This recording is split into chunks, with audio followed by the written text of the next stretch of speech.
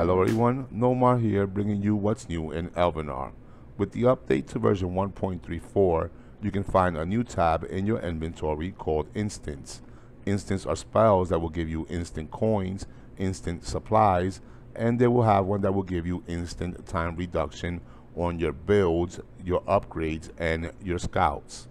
The spells will give you anywhere from 5% all the way to 100% of your main hall's capacity for coins and supplies. This one, for Instants, will give me 77,000 supplies or 10% of my main hall's capacity. And this one will give me 770,000 free coins.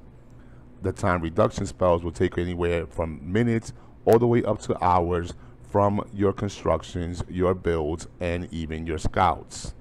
And the instance will be given as rewards in quests and events.